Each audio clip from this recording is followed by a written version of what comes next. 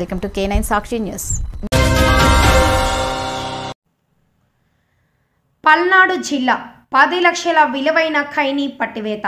హైదరాబాద్ నుండి నర్సరావుపేటకు లారీలో తరలిస్తున్న డెబ్బై బస్తాల ఖైనీ.